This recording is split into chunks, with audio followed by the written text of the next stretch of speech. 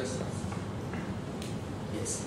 So I was wondering for the uh, string field of psi and psi tilde, so you have said that they were in h uh, minus 1 uh, plus minus uh, 1 half for one, and the other is minus 3 half. Yes. It is related to the fact that we have seen that in the Ramond we, we have two charts that are preferred, which are the q minus 1 half and minus 3 half. Yes. That they are conjugate to each other. And so you- could you have uh, chosen the inverse statement like starting with psi, which is in h minus 1 and, and minus 3 half? Meaning you are asking whether you could have made the psi minus half as 3 and uh, psi minus 3 half as uh, the one which takes part in interaction. Hmm. One could try it, but it's more natural to think of the psi minus half as 3. At least the way we have defined our uh, curly brackets. Right? But maybe one, one, I mean, in principle, one could try to see if the other way is possible. Right? Mm. You have to change the action clearly. But if you start from the beginning and postulating that psi is in uh, 1 and minus Plus minus half, 3 half, yeah. you could do in principle all the same thing and just That is true, it. but the propagator you still have to worry because you still need a propagator so that you have a g inserted on top. You don't want a 1 over g. But it may be possible. I mean, one, one can try it. I mean, that you get, get to the same propagator at the end. But uh, you write in terms of uh, cycle and size in some sense of frequent. So when we, when we calculate the amplitude and give the diametric, dynamic integration, then we could have used both picture, minus three half or minus half. Well, the point is the way you have introduced minus half is the one which takes part in the interaction. Right? So once you have Quicksort string field theory action that way, Then right, then the minus half is the one which enters the interaction. Right? Whether you can write a different version of string field theory, where minus 3 half is the one which takes part in interaction. It is possible, but uh, I am not sure whether how is that.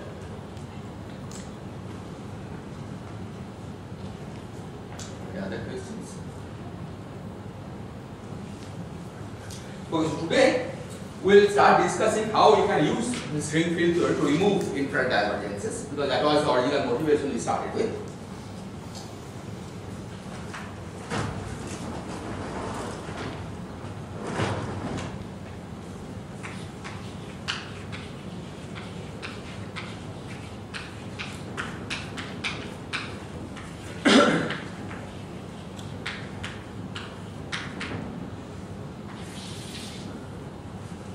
Okay. And at least initially I will focus on the IR divergence from the loop, uh, from tree. Focus on IR divergence from tree graphs. Okay, there are also IR divergences from loops, okay, but they are in some sense milder, so we will not worry about it for uh, now. Okay. And this allows us to use work with one PI.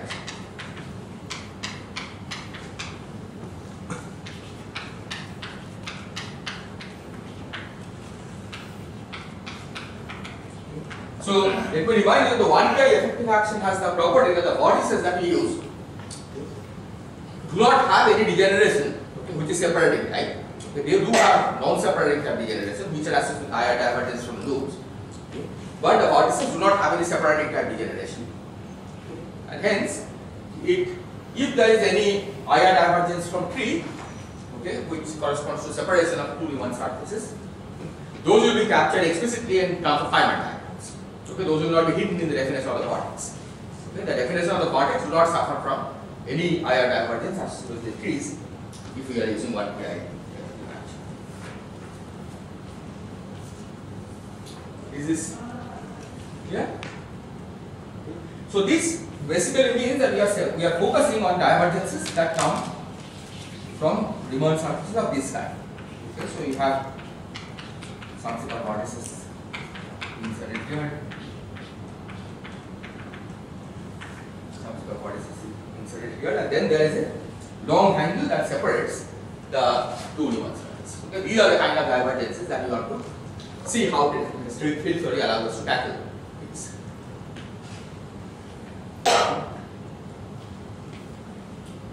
Now, when you have a degeneration like this, we know the origin of the divergence. First of all, there will be divergence from the integration of the moduli.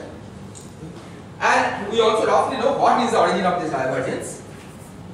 Because in this limit when the cube becomes long, we have a factorization relation that we can think of this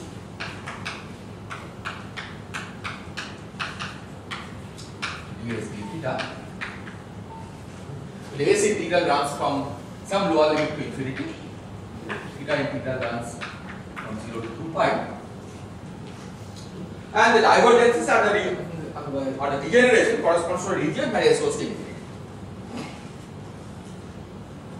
And the divergences that we will see in the string worldsheet description can be associated with the divergences that we will get from the S integral. So this is clearly divergent for L0 plus L0 bar less than 0. Okay, it may also be divergent from is equal to 0, that depends on the what are the powers of S. Perhaps let me write greater than or equal to.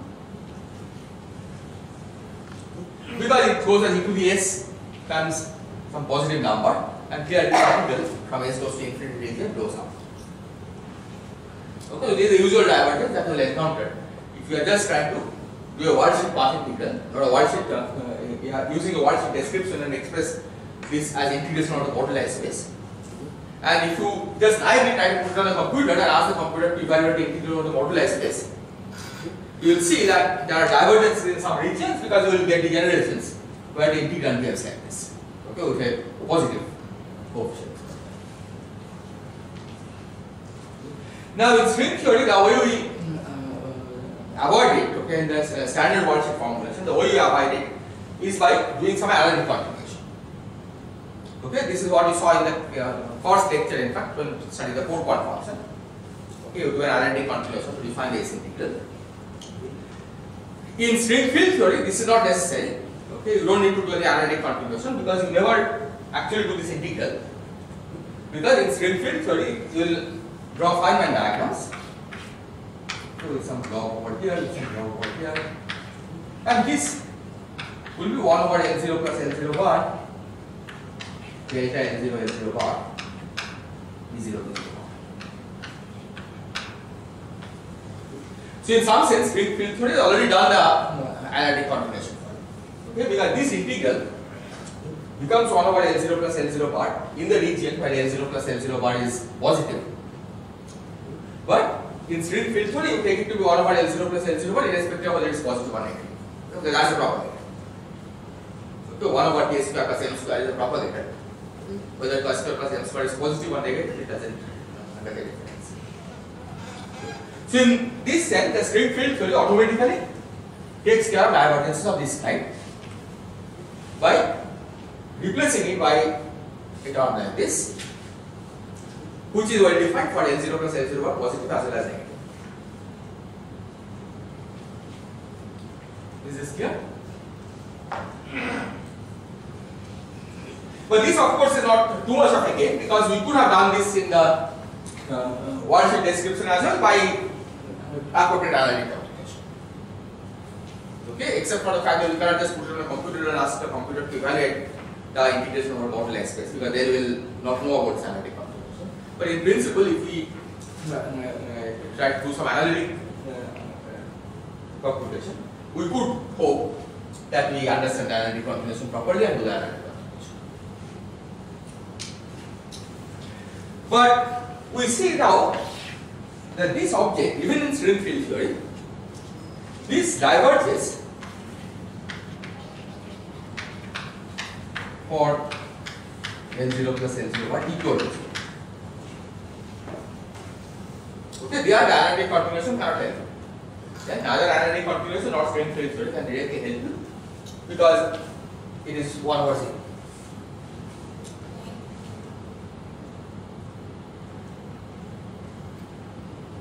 Is this clear? But in string field theory, of course, these divergences have interpretations, okay, which is actually lacking in the worldsheet description. Okay, and the interpretation here is that these are the usual poles that we expect in the S matrix. to a tree-level S matrix, you expect that there poles because if we have a of particles coming with total momentum K flowing this way, then every time, so here is somewhat infinite number of states, and you expect that there will poles of the form 1 over K square square. Right? For every state of mass m that propagates? And it's those poles that we see in this form of 1 over L square plus L sigma.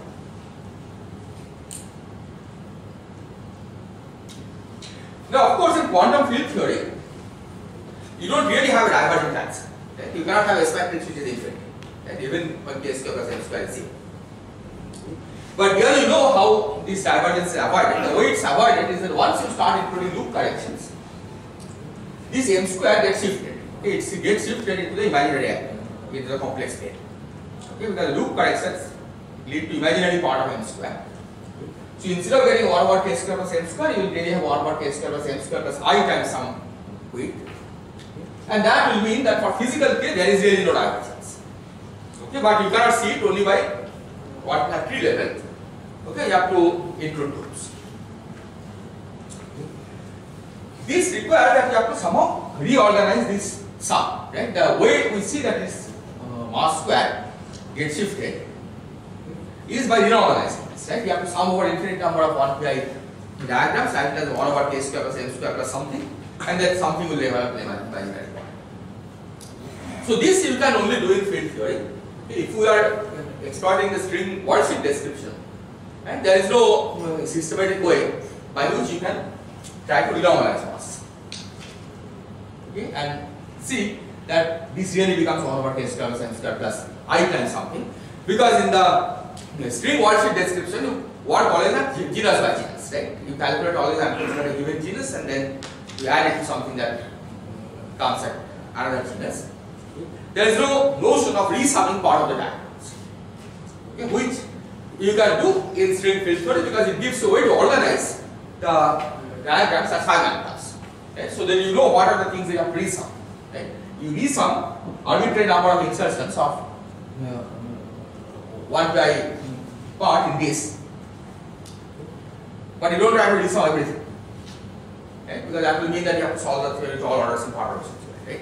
That's not all you will do, but you have to resum part of the diagram to get this pole to shift into the imaginary into the complex. So this is one thing that you can do in uh, field which you couldn't do otherwise in uh, direct worldsheet description. So, sir, what goes wrong when we try to uh, resum uh, in field, I mean, world sheet theory? The point is the worldsheet theory there is only one diagram, right? Yeah, but if I try to add all the uh, genus contributions. Yes, then you have to calculate all the genus contributions first and then resum. See here the point is that this resummation is possible because once you have calculated the one loop one pair contribution, there is a one whole set of diagrams whose contribution, whose result is already known to you. You don't have to calculate the end, end loop diagram to be able to do this resummation. But if you want to do this in worldsheet theory, there is no separate part which tells you this is the master of So there, if you want to add a one loop and a two loop contribution, right, you have to really know the full two loop result and then try to? What string field theory tells us is how to organize this one term into sum of several terms. Okay? And then of those sum of several terms, what subset of terms you should receive. And that's the that's the uh, advantage of using string field theory. And then it tells you how to reason. Which parts you should resum. And those parts you can resum without actually having to perform a genus calculation. Right? Uh, this, for example, in the worldsheet description is an infinite genus contribution, right? Because you are resumming arbitrary number of insertions of one PI diagrams and then writing it as 1 over k square plus m square plus sigma. But this is not uh, something that is uh, necessary in the that you, you can do very easily in the worldsheet description. Right? Because there is no separate part which you can organize on this. Something that uh, identify this RGML P, one PI, what this subspace will be of PGML. We need Yes. a field theory interpretation. Yes. The DGNS of course, that's Yeah. So once you have divided up the moduli space into sub-regions, right?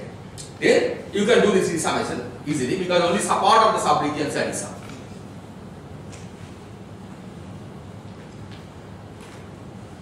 Okay, but even this is perhaps not so bad because you could try to imagine that you use some ad hoc procedure in the worldsheet description to carry out this resum, even though you don't have a clear division between what you should resum and what you should.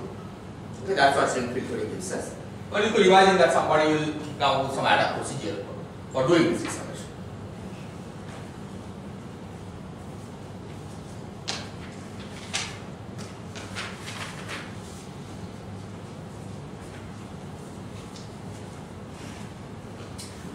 Now this of divergence becomes more acute when this a square plus m square equal to 0 is in some sense forced on. When you see here, k is some linear combination of external moment.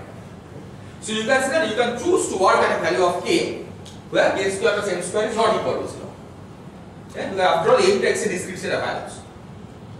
You could always try to choose your external momenta okay, in a regime where k square is not the initial value of any particle. And there this procedure will go and define, even the worldsheet description will give a perfectly good finite answer.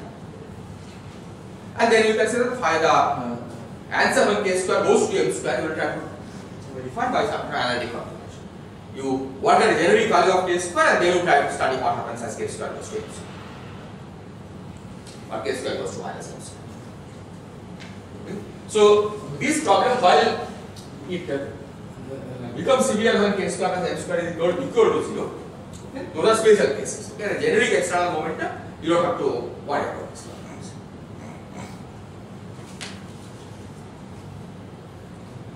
But now the problem is that there are certain uh, situations where it is not possible to simply go away from this pole simply by adjusting external. And these correspond to tadpoles and mass normalization. So more severe cases.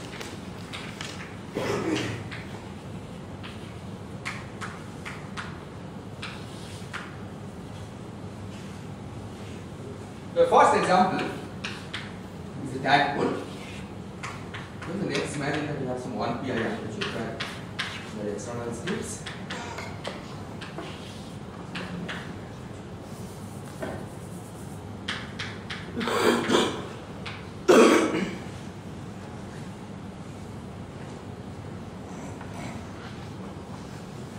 So these are Feynman diagrams and they appear in string in the string worldsheet calculation. They, they are special cases of what have drawn here, where there are no bodies of particles on one side.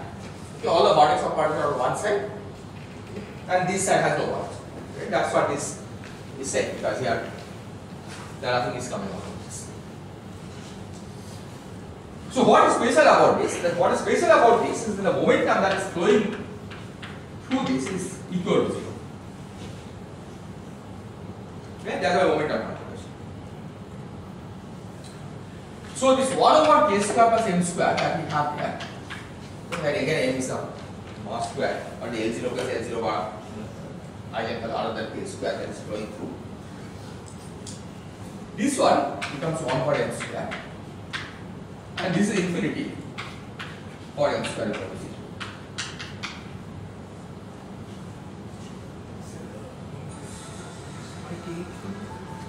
Because there is no particle coming out from here, right? Oh. So there is a momentum conservation. Right? If K goes in here, it has to come out from somewhere, but there is no, no height it can come out from.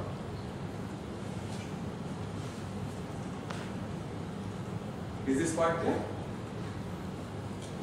So now we see that a diagram like this, whenever there is a massless particle propagating here, will give you infinity.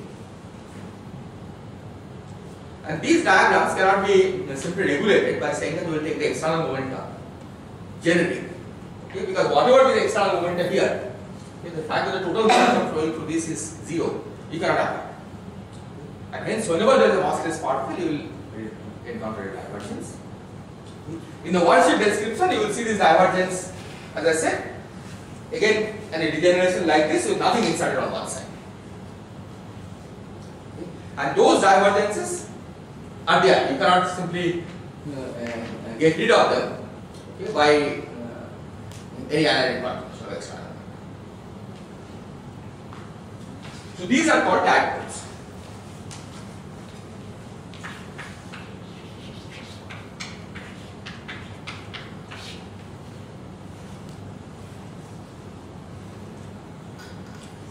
Now these kinds of diagrams can also arise in normal quantum field Right? If you have a massless cube theory, okay, you can easily verify. So once you calculate one loop quantum correction, right, in a massless, massless cube theory, a diagram like this, for example,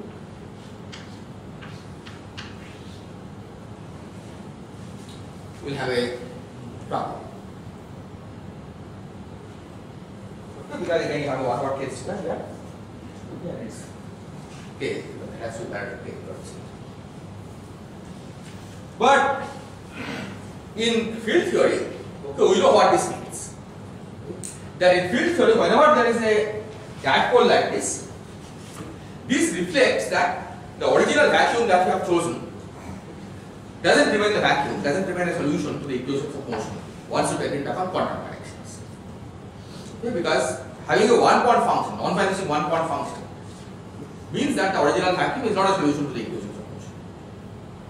Okay, one pi effective action in such cases will contain a linear term in phi. Right? This will be part of the vortex, right? one point vortex. Okay, phi will have a linear term. So if you have a linear term in a field, that means that you have to shift your field. Okay, hopefully, okay, hoping for that there will be another point nearby where there is an actual meaning, where the second quadratic term goes to zero. So, in string field theory, at least you can hope to try to address issues when, like this by looking for possible nearby solutions. Okay, that you cannot, the original vacuum is unstable. But if you can find a nearby vacuum, okay, where you have a solution to the equations of motion, then you can hope that you can re-expand the action around the nearby vacuum and then carry out your motion theory. And then everything will be consistent because there will be no diagrams like this. Is something that is, you cannot do in the standard worldsheet description because in the standard worldsheet description there is no notion of shifting the vacuum. Right? Because there the vacuum or the background is fixed once and for all by demanding worldsheet conformal invariance. And you know the worldsheet conformal invariance is equivalent to imposing classical equations. So if we have quantum corrected effective action, one pair effective action, right, which, whose equations of motion are of course different from the classical equations then that one pair effective action, okay, you can find, look for solutions to the equation of motion, but they will not satisfy classical equations of motion and hence will break the worldsheet conformal invariance. And once you break worldsheet conformal invariance, you don't know how to systematically organize your theory. So in such cases, one may think that string field theory may be essential to have a systematic quantum motion expansion.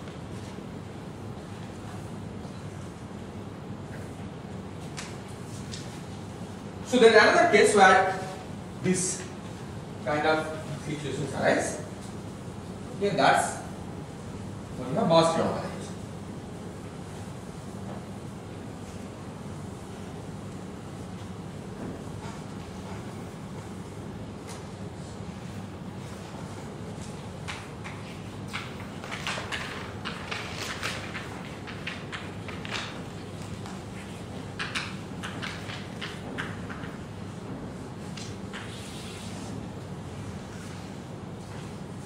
Okay. So these will be diagrams of the following kind. Okay, this is just an example.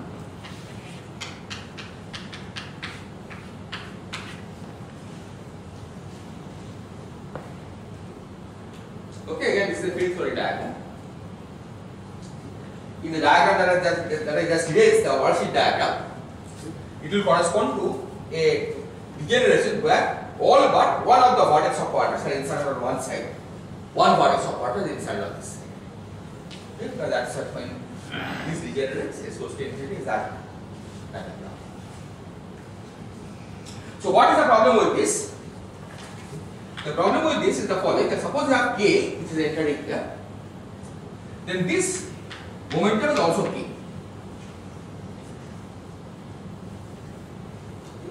So if we have said a square plus m square equal to 0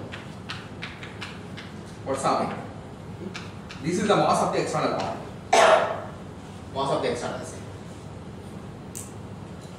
then this leg will also have so this in general the propagator is 1 over k square plus m square. Where mass is the intermediate state that is propagating but this includes a term which is 1 over k square plus m square. A state which has the same mass as the incoming state. When that propagates, you get 1 over k square plus m square. And this is of course infinite.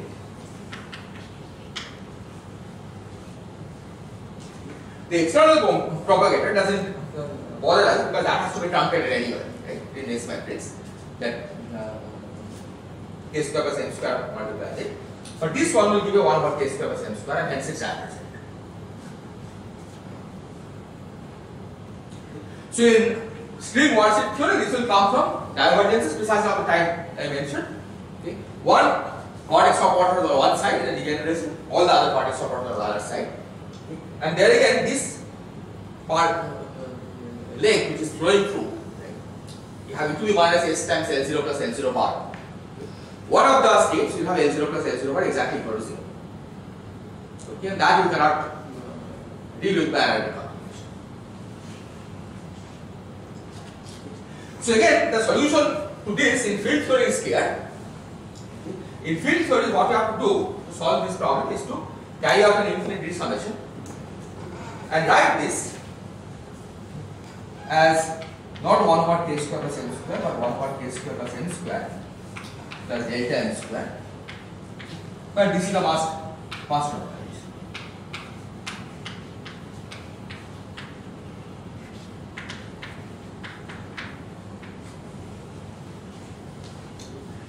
And so there, what happens is the whole external propagator, okay, including the external propagator which was here, that becomes after summation 1 over k square plus m square plus delta m square. Okay, up to some constant is overall uh, wave function normalization. And then the LSZ prescription tells us that you have to remove this. Okay, you have to multiply by k square plus m square plus delta m square because m square plus delta m square is a physical mass, mass square. So LSZ prescription will simply remove this pole altogether and then you set k square plus m square plus delta m square equal to 0 to get the on-shell S matrix. So in a quantum field theory, okay, if you naively, if you didn't know about LSZ, okay, but just try to use a P-level mass square and compute, uh, compute the S matrix, you will find that you will get 1 over zeros anytime an internal propagator like this appears. But once you use a full LSZ prescription that you have to actually look at the full two-point function, okay, find its poles, okay, including the effect of mass normalization, and then you multiply it by corresponding inverse propagator, then all of these divergences simply go away. But again, this is hard to implement in the worldsheet formulation because in the worldsheet formulation, this condition, A is a T-level mass, then k square plus m square equal to 0 is a condition that the vortex of are Bialysky invariant. Okay? This is the H0 plus H0 bar equal to 0 condition, which is part of the Bialysky invariance condition. And if you want to modify this to something like this, that k square plus m square plus delta m square equal to 0, okay, which is the correct uh, on-shell condition according to LSZ prescription. This would mean that in the worldsheet description, you have to use vortex of parts which are not Bialysky invariant. And once you uh, give up that, then again there is a systematic procedure by which you can compute your physical amplitudes. So this is another place where one expects that string field theory will be useful in addressing issues. Okay, now in telling us how to conclude the S matrix. Is this clear? So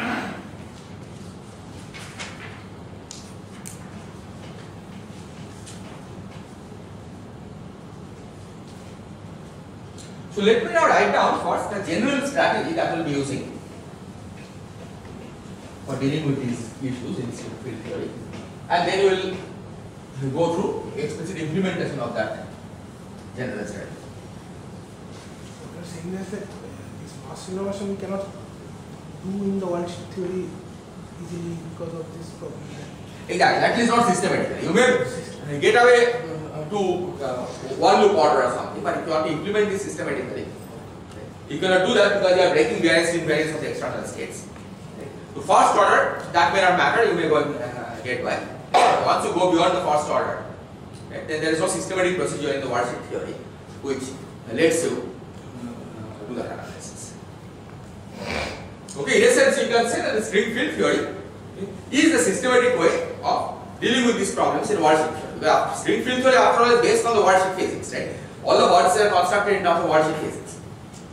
So, whatever Feynman rules you get in string field theory at the end should be such that it reduces to the usual worldsheet description, except that it also suggests that in some places you have to modify the usual worldsheet description so that you don't encounter the divergences of the kind that you encounter in worldsheet.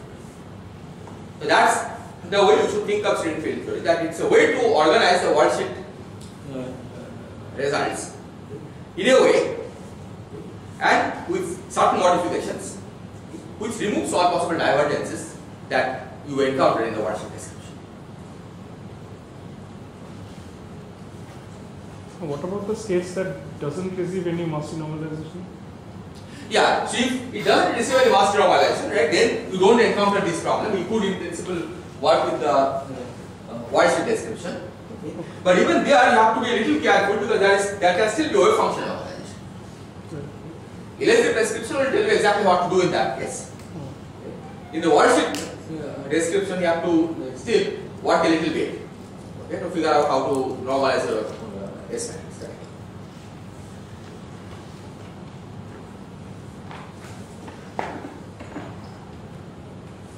Okay. So the strategy that we'll be using is the following. So the first we take one PI action and we'll take a gauge invariant loss from the one PI action.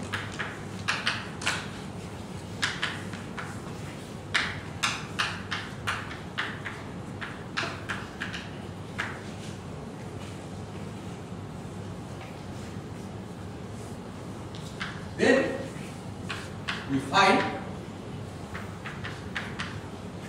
find a vacuum solution, the vacuum around the ring, a vacuum solution, psi classical. To the uh, equation of motion of the one pi action.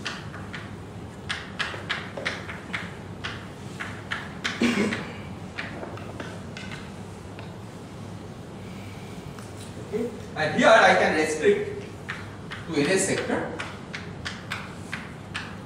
because the vacuum we expect is to be running. We don't expect the fermionic fields to get non-zero vacuum expression. So you can restrict to NS sector and also k equal to 0 states. Why k equal to 0? Because we want the vacuum to be translation invariant which in the momentum space will correspond to psi classical being made of states which have no momentum. This step? Yeah, we are looking for a vacuum solution. Right? We have to shift the field by that vacuum solution. And what I am saying is that it is sufficient to look at the NS sector of the vacuum solution, uh, the NS sector states. Okay? Because you want the bosonic fields to condense, right, to get vacuum expression, not a formula. Set. So the, just set all the Ramond sector fields to zero from the beginning and work with the Neveu-Schwarz sectors. And see, in the same spirit, you take k equal to 0 state because you want to translation invariant vacuum, which means in the momentum space, okay, you are building the, you are giving vacuum expectation value only to the zero momentum modes of field. Okay, that's this k equal to 0 state. But you, you may look, want to look for solid also, for example, right? Which are non-zero momentum uh, space-time invariants. In which case you have to relax this. Or you can look at a, you may want to look for the Taylor solutions, right, which also carry momentum. But this is only in the specific case of vacuum solution. We. Okay.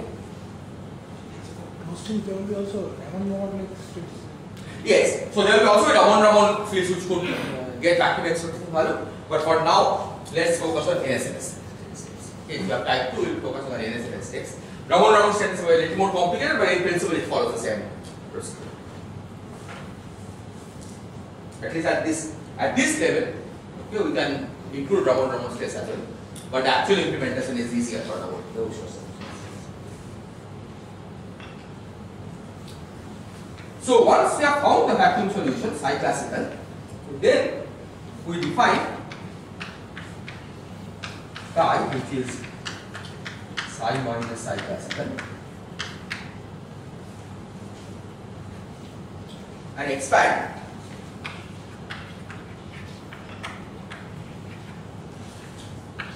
you take S1 pi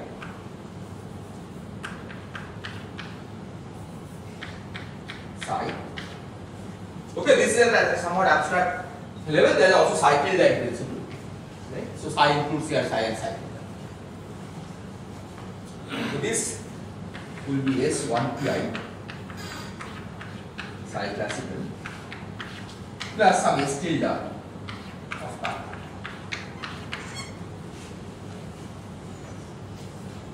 Okay, whatever is there, after you have expanded, you just expand in powers of pi, right? Psi as well plus chi, and expand it out. So the leading term in the expansion is phi s 1 pi psi classical, and then everything else is called s tilde of pi. The important point in s tilde is that there is no linear term in chi.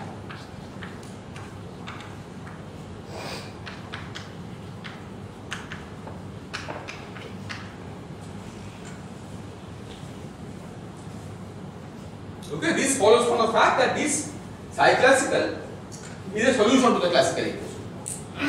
Right? Which means that the first variation of S S1 pi with respect to psi vanishes as psi classical. So when you expand it out, this must contain quadratic and higher order terms.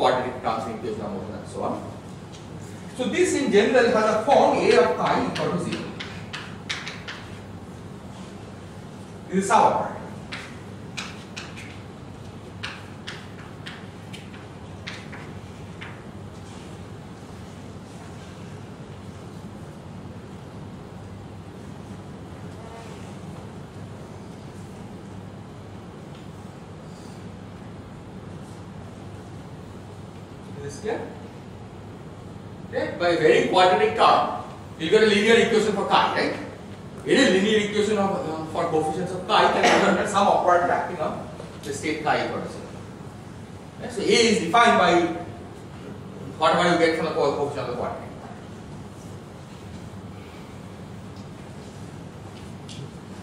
So you have to find solution to these equations. A has a property that if chi carries momentum k, A of chi also carry momentum k. Okay, that's just momentum conservation, the vacuum solution that we have taken. Okay. We have taken to be the zero momentum sector, translation invariant. So, this operator will conserve momentum. And if you have a translation invariant system, okay, then the uh, transition invariant vacuum, the quadratic operator, okay, when acts on a momentum k state, will give you a momentum k state. This is standard field theory equation, right? In field theory, you have a translation invariant vacuum. Then momentum is still a good quantum number. You can choose solutions to linearized equations of motion as eigenstates of momentum.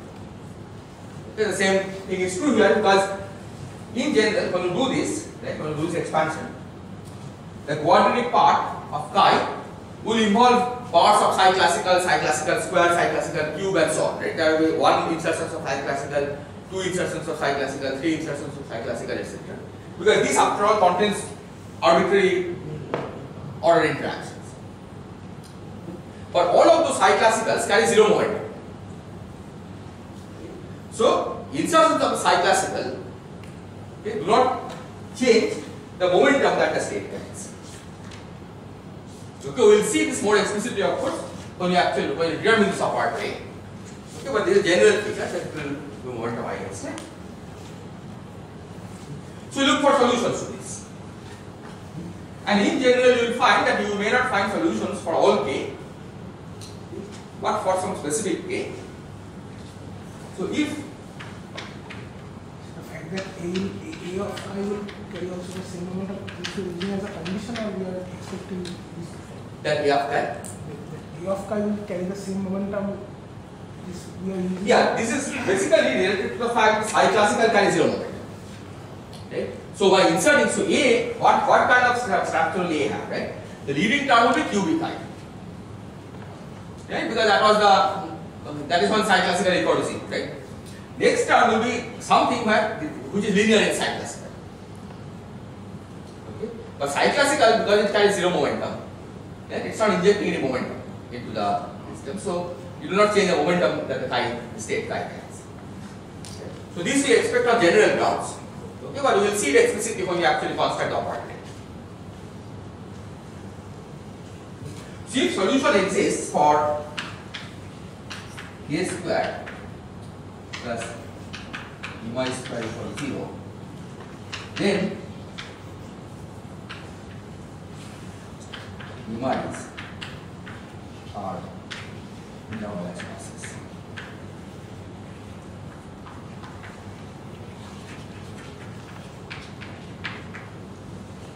Because you are using one pi effective action. Okay. So you have already taken account the effect of quantum corrections. Okay, the definition of the vortex. So now the physical masses are just of but the solutions exist. Okay. But of course, you have to remove the pure gauge states. Okay, again we will see later how to do this.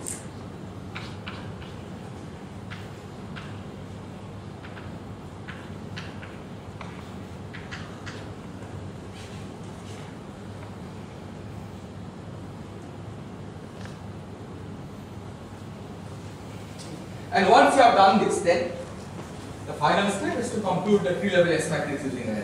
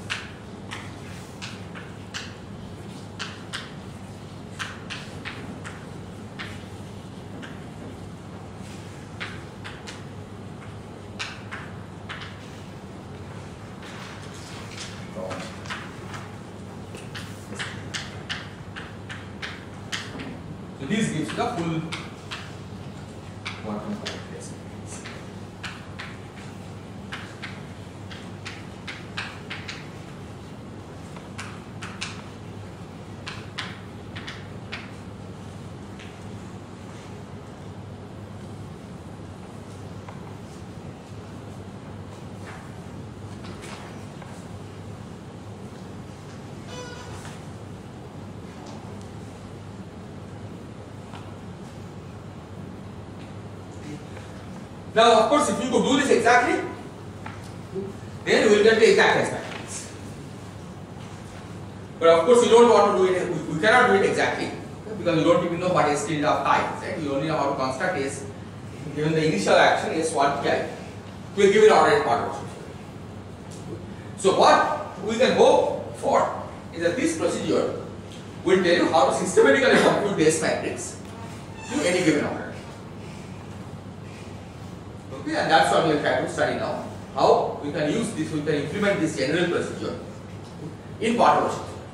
Right? Because our goal here is to try to see how string field theory can improve the perturbation theory by removing all the extra divergences. Okay, all the divergences that we encountered in perturbation theory, but we shouldn't be there. So you have to now learn how to implement these steps in.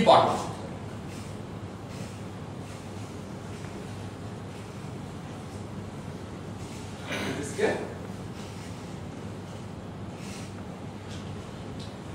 So the step one we already did. Right? We have seen how you can systematically construct this one pi effective action. Okay, by constructing this R, R1 pi GMN, okay, and then uh, building up the uh, constructing the R1 pi by iterative procedure. So we'll start from step two, okay, namely how to find a hacking solution. Okay, given the one PI effective action. Okay, and again, let me emphasize that you want to do it in perturbation. Okay, because you don't know what a full one k effective action is, you know it's perturbation expansion. So the vacuum solution that we'll be looking for will also be in perturbation.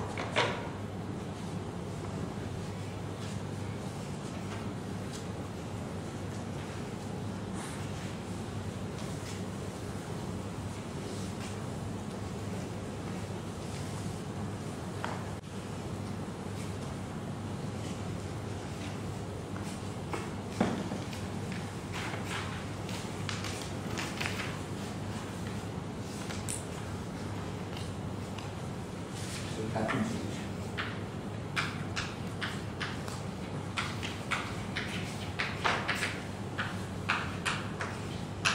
Okay, again, let me remind you that we are what with this sector. Okay.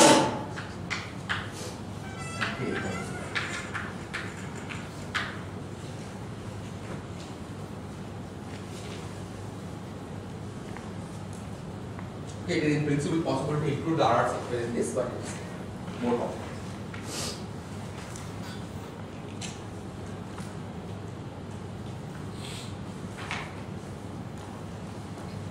So let's see what structure of cycles we expect. So if you recall that if we look at look at the only tree-level contribution, the genus zero contribution to the one PI effective action. Here you have a quadratic term which is psi c naught minus qb psi, and then the interaction start at cubic order. Right? Because on genus zero there is uh, uh, less than three point functions are also. So there is a quadratic term in psi and then the expansion starts at cubic order. So psi equal to zero is a solution to the equation. Right? That's the vacuum. Okay, that's the place around which you have expanded. So at genus zero, the vacuum solution vanishes. You don't have to look at you can take psi classical equal to zero. So this suggests that we should be able to look for psi classical of the following. Look for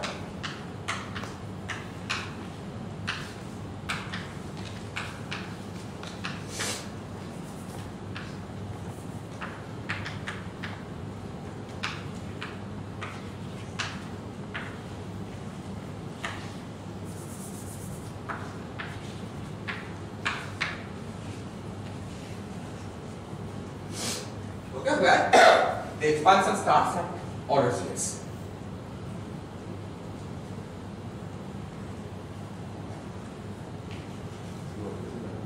Pardon?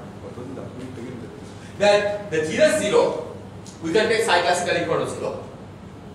So you expect that as you take GS to zero, then psi classical equal to zero is a good vacuum solution. Because at genus zero, the uh, action has a quadratic, it starts with quadratic term and then its cubic onwards. Okay. So you look at the equation of motion, its is psi plus psi square plus psi cube etc. equal to 0. So psi equal to 0 is the solution to the equation. This problem comes only when there are linear terms in the action. Right? Because then you have q is psi and then there is constant, right? So psi equal to 0 is not a solution. And the linear terms will arise, but from genus 1 onwards. And at genus 0 there is no linear term in the action. So at genus 0 you can take psi equal to 0 as a solution. Is this clear? Now, I should add that this is not a fully general ansatz. Okay? Because I have taken this expansion to start at order GS. Okay, I have taken this to part of GS. But you could have taken this to be a fractional part of GS also. Okay? It tells us to begin with that if the if, because the original perturbation expansion of the action is in parts of GS square, that the solution also must have partial expansion in, starting from GS square. So you could have, for example, right, uh, you could have asked why haven't I taken GS to the 2L? Because after all the solution, the action has expansion parts of GS square, right? So the natural expectation of the solution will also be parts expanded parts of GS square. Okay? And indeed, we'll see that for most cases it is true that the solution starts at GS square onwards. But there are interesting examples where the solution actually is in parts of GS. The first term in the solution starts at GS. So the fact that the action has an expansion in parts of GS square does not necessarily guarantee that the solution will have expansion in parts of GS square. But the same uh, argument will tell us in principle you could also have GS to some fractional part. And if you encounter situations of that kind, right, where you are not able to solve the equations by assuming that there is an interior part expansion, you have to go back and look for solutions in fractional part. Right? Such situations may arise in but just for simplicity, we will have take this to be an expansion in GS. Okay, but this you should keep in mind that there could be solutions where the expansion is in fractional parts of GS. Okay, but the first term in the expansion is GS to the alpha, what's a fractional alpha. Is this clear? Okay, later on we will see that it is there are cases where the expansion is not in parts of GS square, okay, which will be natural expectation because in closed string uh, field theory, the action is expanded in parts of GS square. If you recall, there is a GS to the 2G, right? There is a fractional G in the uh, in the expansion. Right? Nevertheless, I have taken these to be parts of GS. Okay. Now we will define psi k to be the solution to k order. So this is sum for L equal to 1 to k. Gs to the L.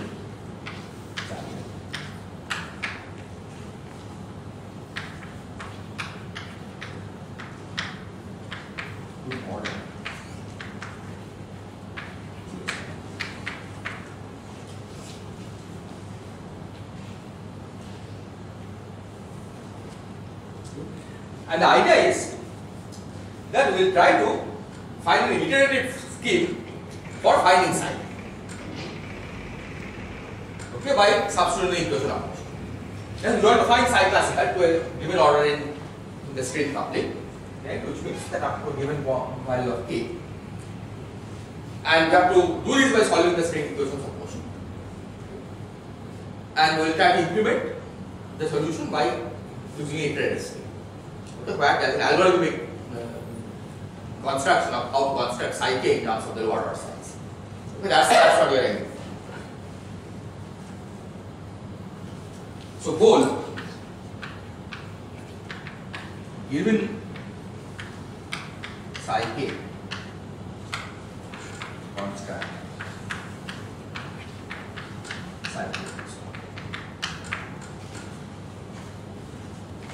So just one question. Yes. Uh, this particular expansion, as you told, key, uh, GS squared, why we are not expanding in that. This is more general than that. This is more that. Yeah, because uh, for specific values of uh, uh, size, uh, that will reduce to uh, Exactly. The, But uh, I could not follow what is the argument for fractional powers. Uh, well, there may be cases where you cannot find solution with integer parts. Okay. Right? In which case, well, see, there are cases where you cannot find a solution at all. Yes. Okay? In that case, you will say that the vacuum is inconsistent. In some cases, it, it may happen that you are not being able to find solution in integer parts, but you may still be able to find solution in fraction part. Okay? So what I am saying is that you should keep in mind that that possibility exists. Right? So if you are not being able to solve this in integer part, you may have to go back and check if you can do it in fractional part. And could you imagine an expansion with negative power? So Well, those will not be part of it. Because you are trying to look for perturbative solutions, right? We are looking for a series expansion. But indeed, it is possible in principle that there are non-perturbative solutions in negative power series, right? Solutions which do not exist in tree-level string theory, but which exist once you take into account the quantum directions. Okay, but uh, here, as I said, the goal is to try to develop perturbation theory. See how you can cure the divergence in perturbation theory, making use of string theory.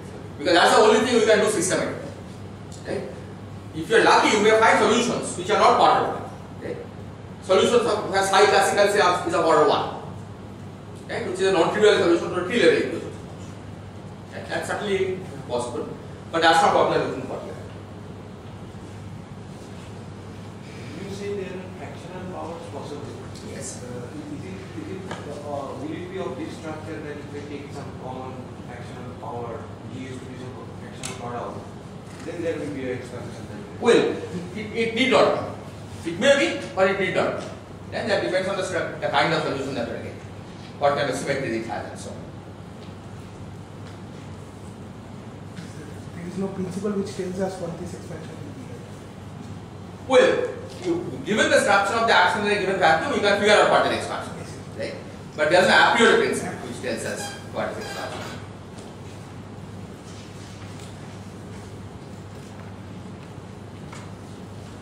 Okay, so let's now try to substitute this in the equation of motion.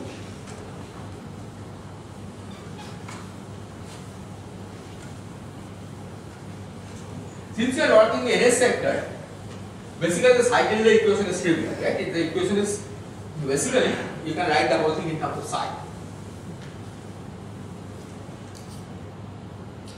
So the equation of motion ub psi ub psi plus sum over n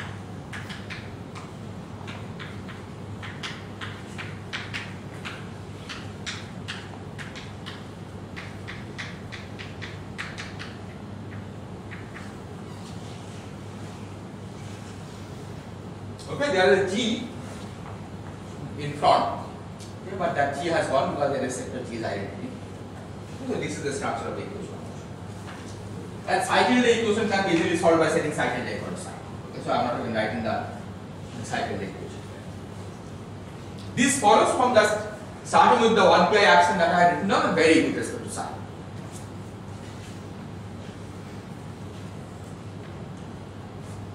Is this okay?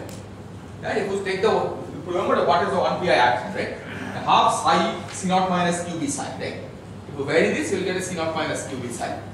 And then there is psi to the n, right? When you vary you can check that it becomes delta psi c naught minus with psi n minus 1. Right? Once you use the reference of the square bracket. So that's what leads to this. So this is the equation you have to solve. Okay, but in part. So now we write this for psi k plus 1,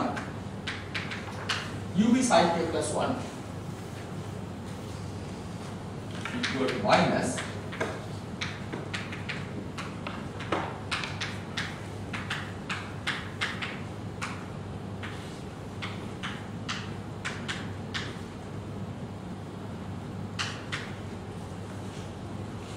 So this one I'll just drop from now on. Okay, because all our brackets will be with respect to this one pi bracket. So keep in mind that this bracket that I'll be using from now on is really the one pi bracket and not the uh, bracket that we use to define the action. Okay, it's just that uh, I mean, I, will not write it every time. Okay, so at this stage, still k, one, plus order gs to the power k plus 2. Okay, because i k plus 1 by definition is a solution that is accurate up to order gs to the k plus 1. Okay, so the corrections, there can be corrections of order gs to the k plus 2.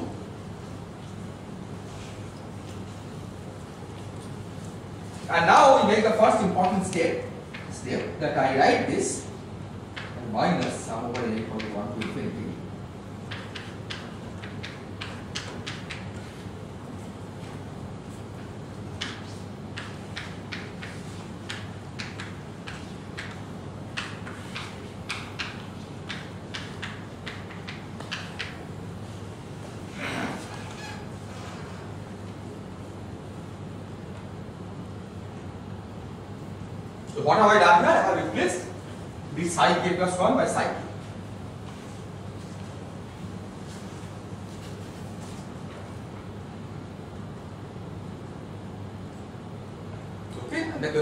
Question is why can I can I do that?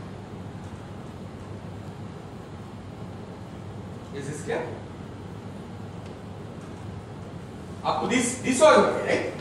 We're looking for a solution to order psi k plus 1, so we write the full equation in by replacing psi by psi k plus 1 and allow for an error term of order gs to the k plus 1. Okay, because psi k plus 1 is supposed to be accurate to order gs to the k plus 1. But now I am making a bolder claim. I am claiming that the psi k plus 1 on the right hand side can be replaced by psi k.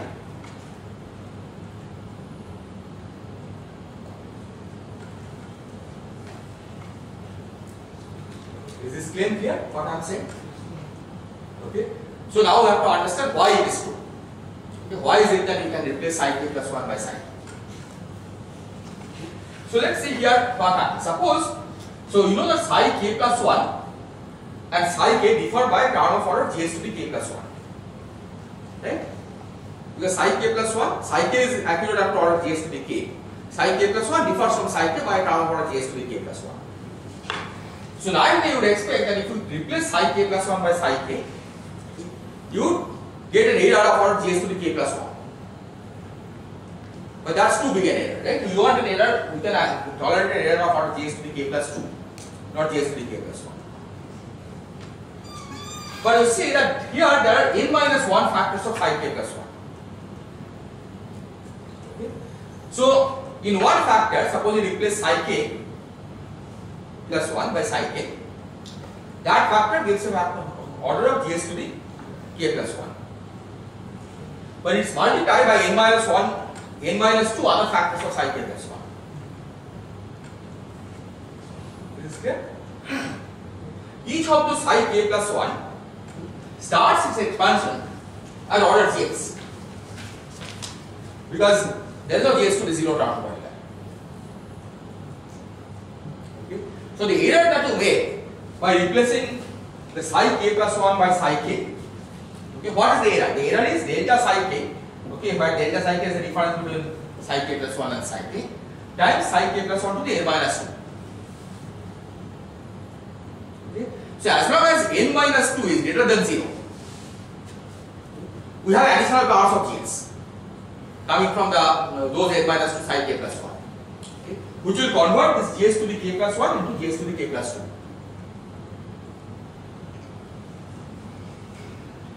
Is this clear? So danger is what happens when n is equal to 2. And then this argument doesn't hold anymore. Right? If n is equal to 2, then there is no other factors of a psi k plus 1 okay, which will help us to get factors of gs. n equal to 2 means there is only one factor of psi k plus 1 here.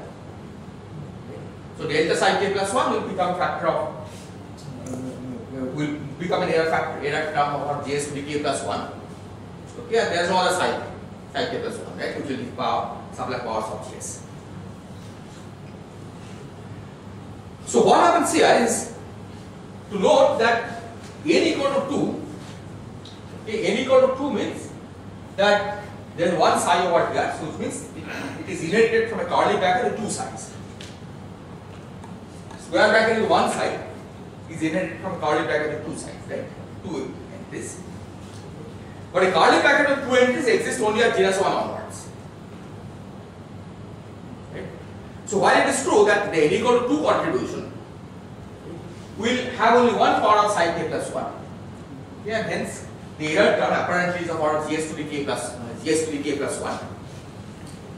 But because it's the uh, square bracket itself is getting contribution from genus 1 onwards, in the definition of the square bracket there is factor of j square. Right? Because square bracket gets order 1 contribution from the sphere, order gs square contribution from the torus, order gs to the 4 contribution from the uh, to genus 2 surface and so on. So in either case you get at least one factor of gs extra, okay. either because there is a factor of psi k plus 1, extra factor of psi k plus 1, the expansion is starting at gs, or because this is a genus 1 or higher, contribution, and hence it gives a contribution of order gs. So that's the reason why the error that you make in replacing psi k plus 1 by psi k is of order gs to the k plus 2 and not gs to the k plus 1. And even though psi k plus 1 and psi k differ by a term of order gs to the k plus 1.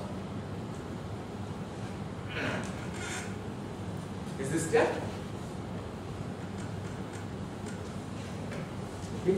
So this already improved the situation a bit because now we see that instead of having to solve a non-linear equation, we have to solve a linear equation because this by assumption is known. Okay? What we are saying is that if we know psi k, how to construct psi k plus 1? If psi k is known, then that means the right hand side will be known. Okay, and you only are trying to solve a linear equation for psi k plus 1. Is clear?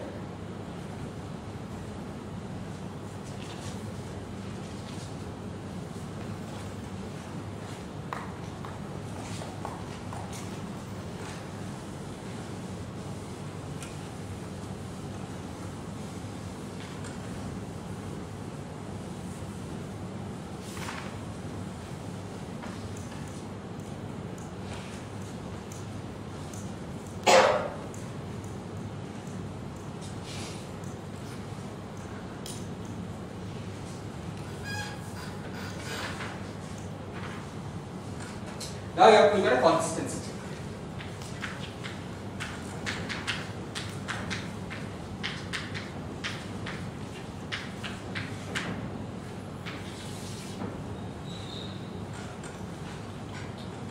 The consistency check comes from the fact that the QB on the left hand side is here. Because QB square is here.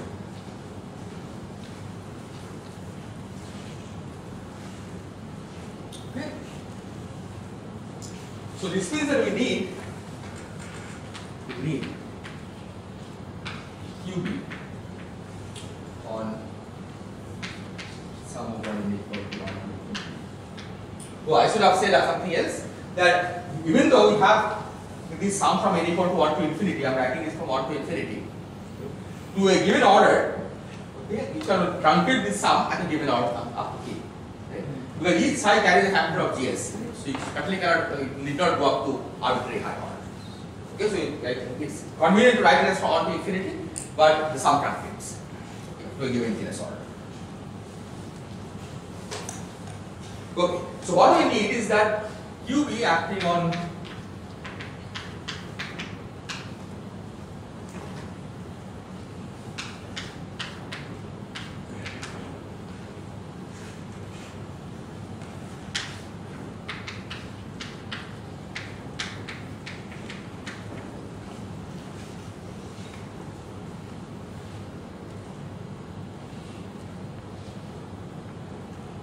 Okay, otherwise you can never solve this equation.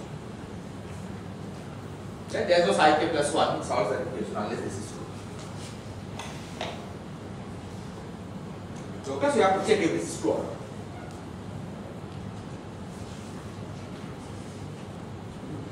So, to do this you can use the identity that we wrote down earlier. QB acting on a product of size okay, is given by a sum of two kinds of terms. So One is when QB acts on each side in turn, and then there are other term we have two square brackets. Okay.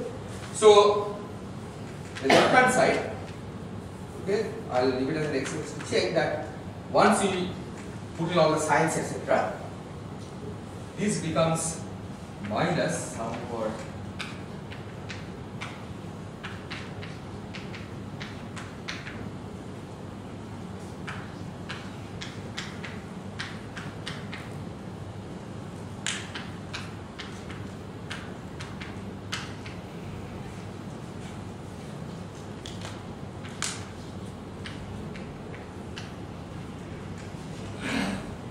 four. I should have said here. See this? Well, let me write the whole thing again then. I will write.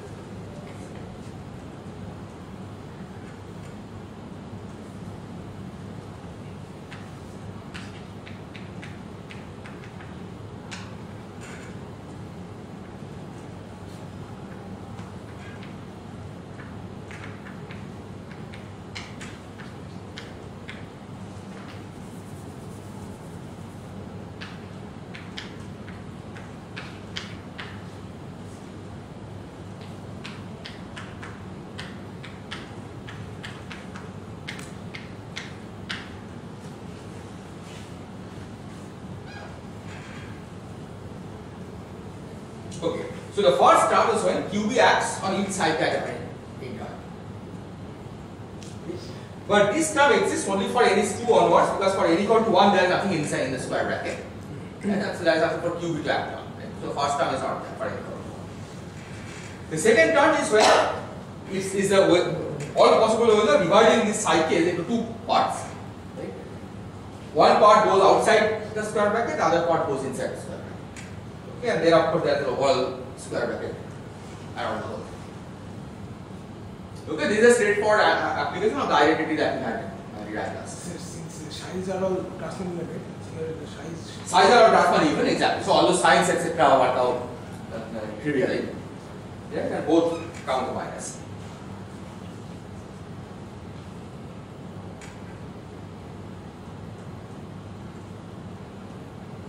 Is clear?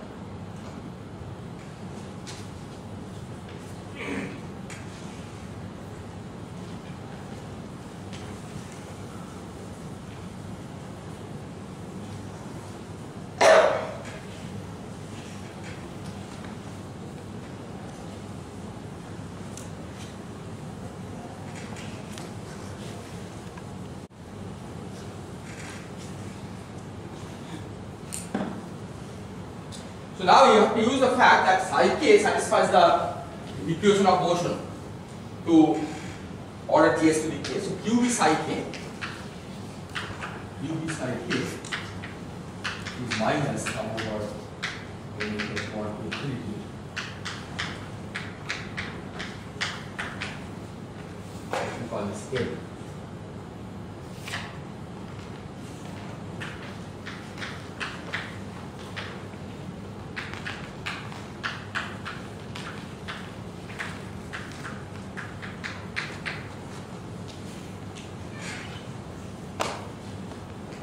Okay, so you use that to substitute here. So you get so left hand side.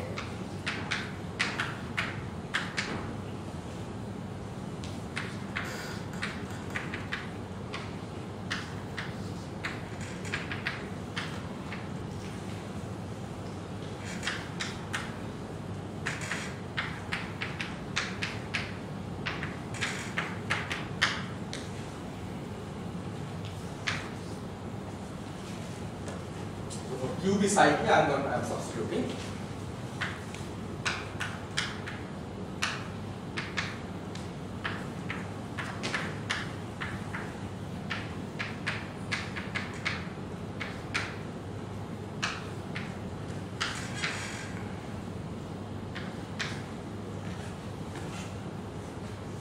So maybe I should write it the other way.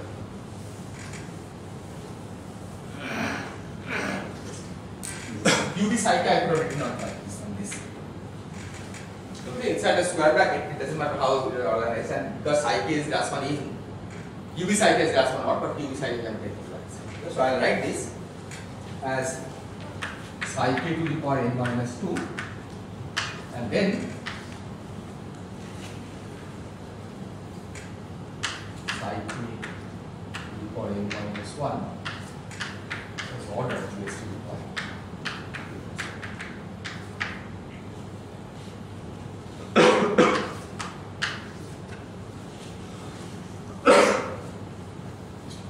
minus so here you see oh I forgot the 1 over n minus 1 factorial which was there so here this 1 over n minus 1 factorial is there again. so this n minus 1 say n1 with 1 over n minus 1 factorial will basically give us 1 over n1 factorial times n2 factorial right? Because n1 plus n2 is n minus 1 so this sum we can write as sum over n1 equal to 0 to infinity, sum over n2 equal to 0 to infinity, 1 over n1 factorial, This is what I am doing here is this sum over n was running from 1 to infinity. That we are converting into sum over n1 to n2 independent. Okay?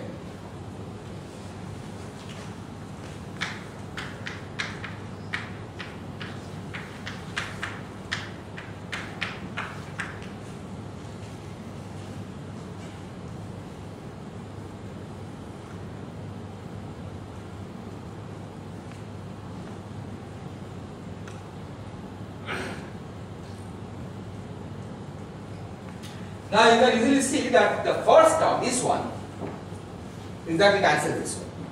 Right? Just identify n minus 2 as your n1 and n minus 1 as your n. Okay, so these two terms cancel. But there is an error term sitting here, order gs to be k plus 1. Okay, that is not good enough for us. You have to show that the order is gs to be k plus 2. Right? Because that's what you have to have here. But now again, let's go back and see. Here is order gs to be k plus 1. So if n is larger than 2, we are done because each psi k has at least one factor of gs.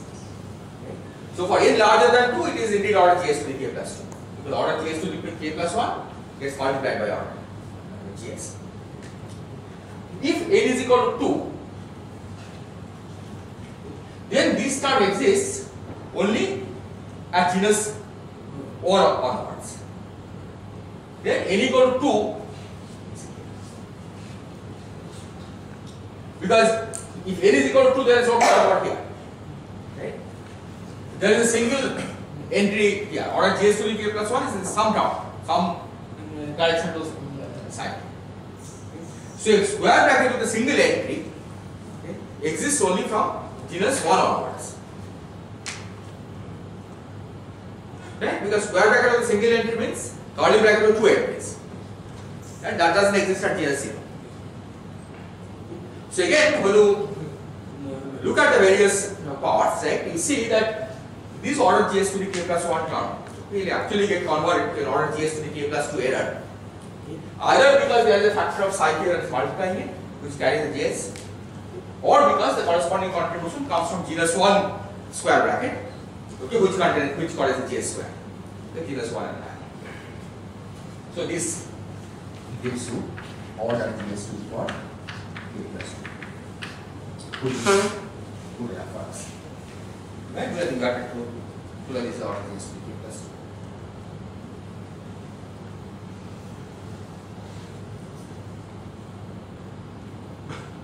2. Is this clear? Okay. So notice that this whole procedure is consistent only because at genus 0 there is no one point function.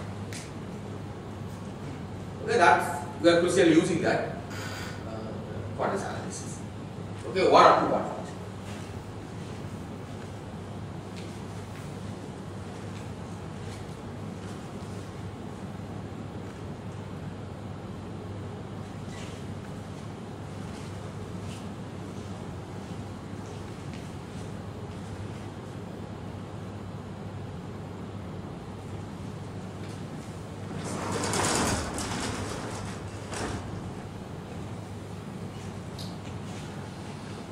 So given all these results, you, you can now try to construct a solution for this of this equation.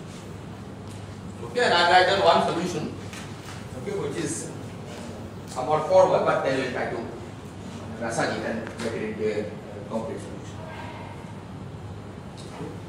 So a solution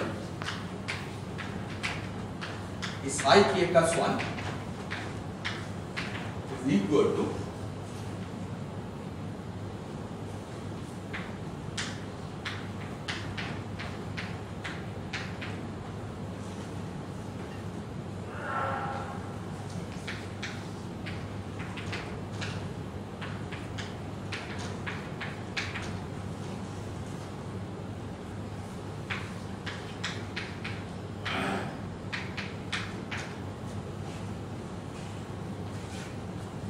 we can add to it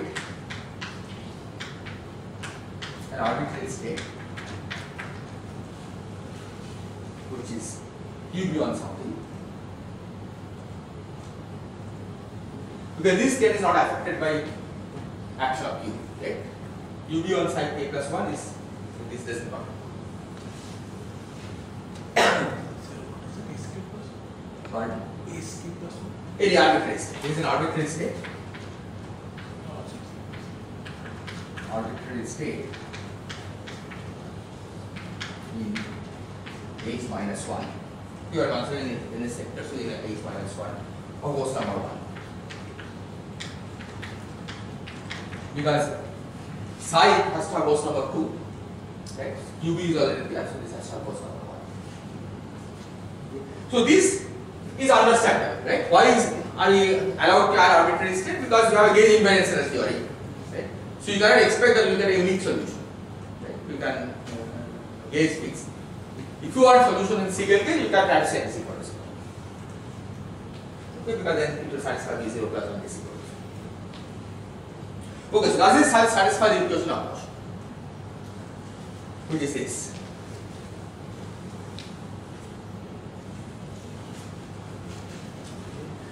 So you apply QB on this side. So QB acts on B0 plus over L0 plus. QB of course commutes with L0 plus. So what we can do is that we can commute, anti-commute QB with B0 plus. The anti-commutator of QB with B0 plus gives you L0 plus. That cancels the L0 plus and L0 plus. So that's the desired. That's this term. But there, there is another term that QB goes through B0 plus. Change of sign. QB now acts on this. But we just showed that that one is ordered GS to be K plus 2. Okay? That's an allowable. Okay? So this indeed does satisfy equation.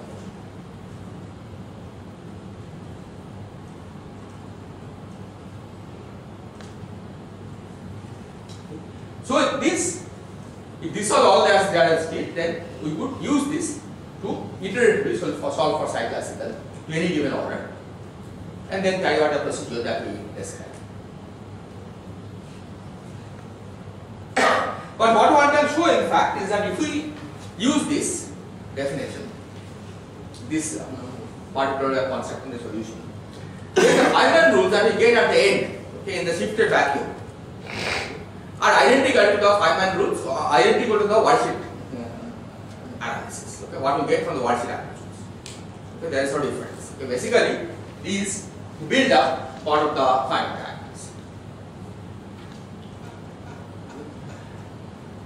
But that, of course, we know is not the complete story because the standard worldsheet procedure will encounter divergences. Okay, so you cannot, I mean, start with string field theory okay, which is supposed to cure the divergences and end up with the same prescription prescription that we see in Watson theorem. Okay. So something is not quite right about the solution that I have written out. And what is not right is the fact that this state is a, this is a linear combination of any infinite number of states? And some of these states may have L0 plus equal to 0. Right? On which this is not well defined.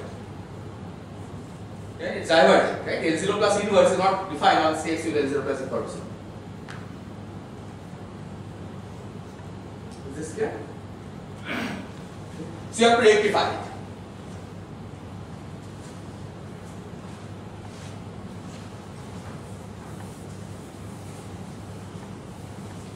So let me just write down how we'll rectify it and then tomorrow we'll carry out this procedure. Yes.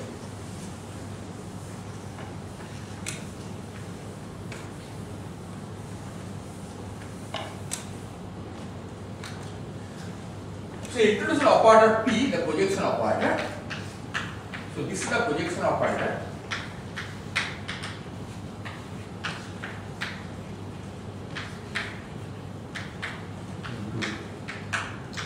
L0 plus L0.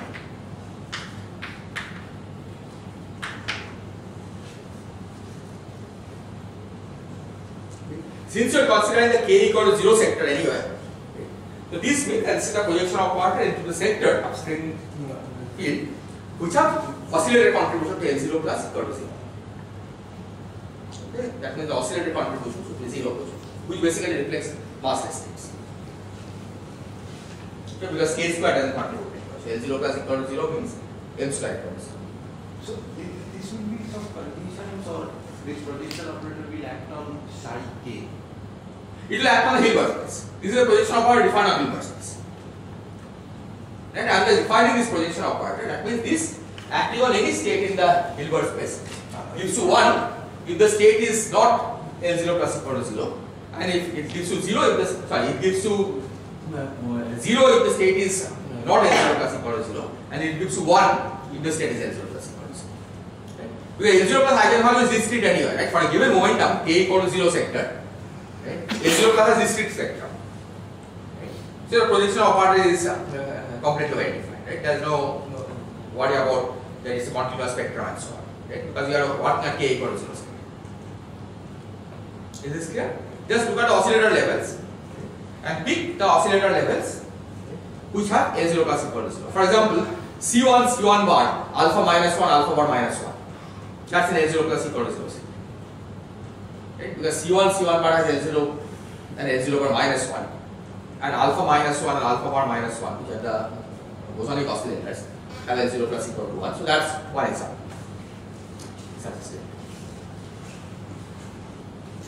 Okay, so if we define once I have introduced this operator P in this way, we can write a solution as follows. So psi k plus 1. Oh, I should have also said, said that P trivially commutes with QB B0 plus L0 plus etc.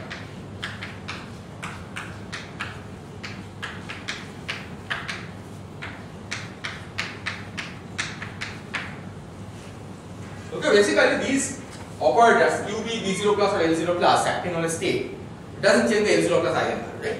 Please commute with L0 plus. So P commutes with uh. So I can now write psi k plus 1 as minus B0 plus is L0 plus 1 minus P.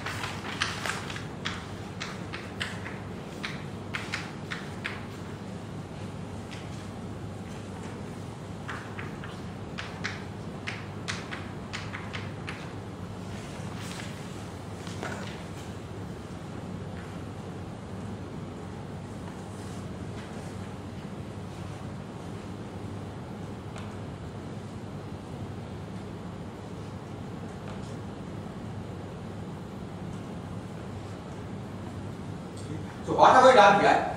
Okay, so what have we have done here? We have decomposed the right hand side into two sectors, p plus 1 minus.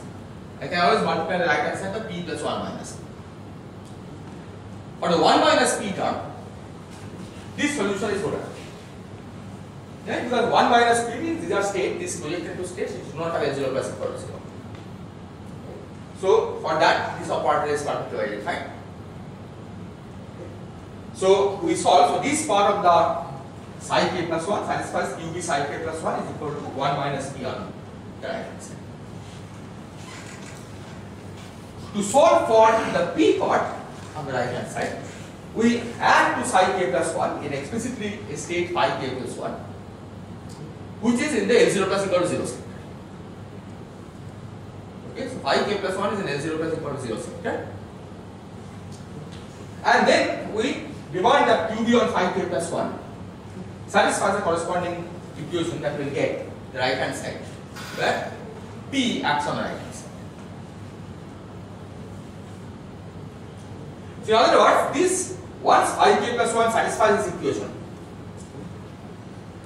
this solution, this configuration automatically satisfies this equation.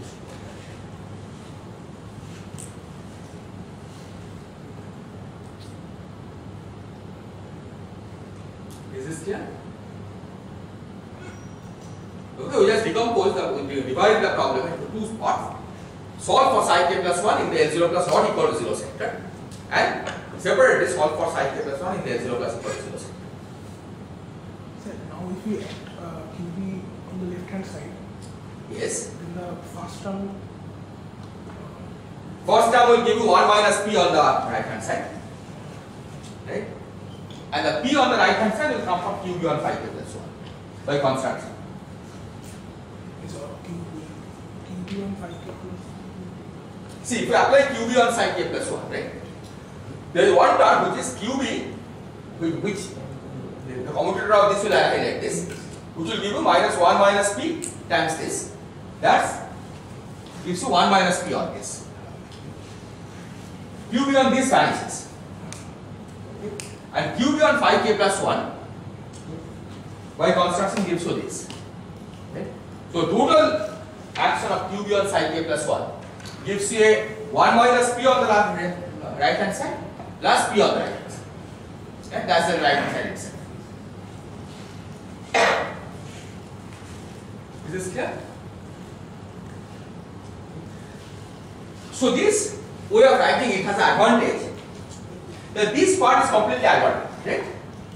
Here, once psi is given, right? You just apply an operator on that. You are, you are not having to solve it, right? You just uh, this is a well-defined object right, that you have already defined. So you know just act, act with an operator, b0 plus over l0 plus on that, and that gives you this part. Here you still have to solve for 1, right? This is not giving an expression for 1. But this is an equation that is that can be solved in a finite dimensional space. Why? Because phi k plus 1 is an L0 plus equal to 0 state. Right? K equal to 0 state. There are only finite number of states in the Hilbert space which have L0 plus equal to 0 and K equal to 0. Right? Only a finite number of oscillators. You can list them explicitly.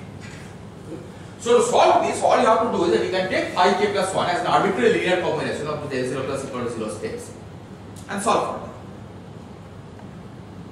K equal to 0 comes. With the Uh, I mean, with k equal to 0. with yes, that's right. Momentum equal to zero. We are taking all through. So phi k plus one also has momentum equal to zero. See, if you allow the momentum to vary continuously, then of course there are many L zero plus equal to zero. Right? Because for every mass level, you can always find some case where for for L zero plus will be equal to zero. But because you are looking for solution for k equal to zero, there will only be a finite number of states with L zero plus equal to zero. Right? The gravitons, uh, gauge bosons, etc. Right? They are zero mode, uh, zero momentum states, and some unphysical and pure gauge states at that level, but it's only a finite number. Okay? So you can take phi k plus 1 to be an arbitrary linear combination of this finite number of states, and then to solve this equation. Okay? So if this equation has a solution, then you are done. Then you have to extend the solution to that order. If this equation fails to have a solution, then you cannot extend the solution to that. that. Okay, and that will make that the vacuum that you have started with is incon becomes inconsistent at certain order. But once you can do this, I mean, if you can solve the for this equation, then you are guaranteed that now when you substitute in the original action and start doing Feynman diagram around the shifted vacuum, you will have no tadpoles. So in this approach, you never see a tadpole divergence. That doesn't mean that you always get a consistent uh, string perturbation theory. But the failure of string perturbation theory in this approach would come from the failure to be able to solve this equation. That basically means that even though you have a nice action, it has no vacuum. That which can happen. Right? If you have a five, uh, scalar field theory, the potential which has no extremum, right? that's you can write down a uh, uh, perfectly good action, but it has no extremum. Right? So it cannot be context or in a sensible way. So that can certainly happen. But it will never happen that you will run into divergences in while carrying a Potter solution. You will see the problem at the level of solving this equation. Okay. So next time we will discuss in more detail okay, what kind of problems you can encounter okay, and when you can solve them and when you may not solve them.